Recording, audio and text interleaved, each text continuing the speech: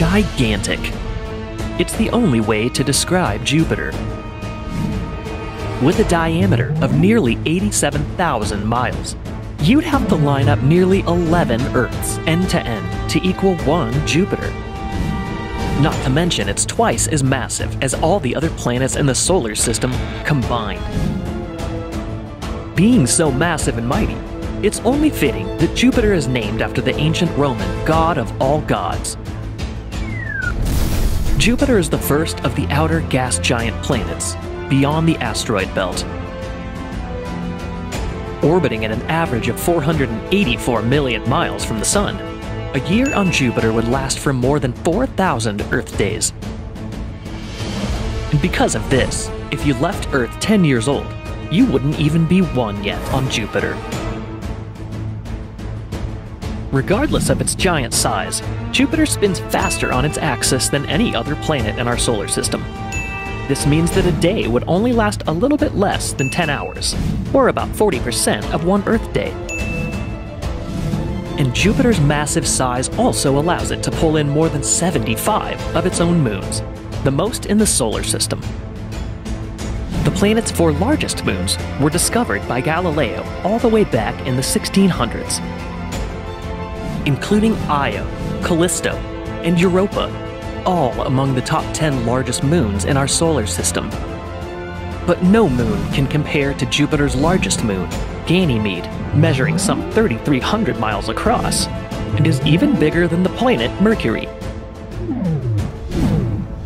Naturally, however, Jupiter's comparatively large mass would also allow for some seriously strong gravity, around 240% of the gravity we're used to on Earth. And because of this, on Jupiter you would only be able to jump around 38% as high and lift about 38% of the weight you could on Earth. And your own weight would also be far different.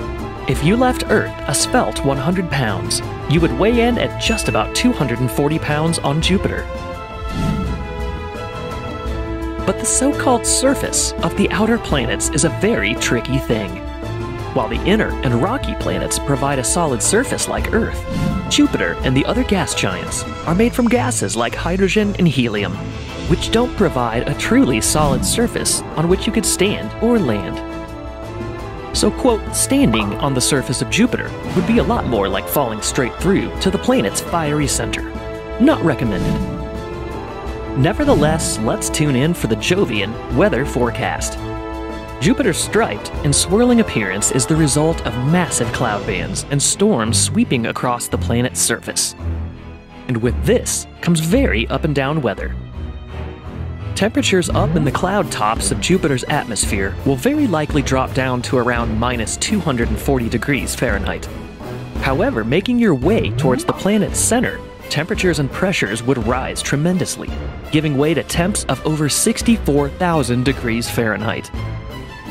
As you would expect with a giant ball of whirling clouds, Jupiter can be quite breezy. You're safe to expect wind speeds as high as 400 miles per hour on Jupiter. As far as precipitation, the methane in Jupiter's atmosphere forms clumps of soot, which harden as they fall, forming actual diamonds. So be sure to pack a very sturdy umbrella, because you can expect showers of engagement ring stones. Diamond hail. But when it comes to storms, none can outshine Jupiter's infamous Great Red Spot. This oval shaped storm, a lot like a gigantic hurricane, is nearly four times the size of Earth and has been raging for over three centuries. Jupiter is hands down the king of all planets, but we still have the rest of the outer solar system to explore. Next stop, the ringed planet, Saturn.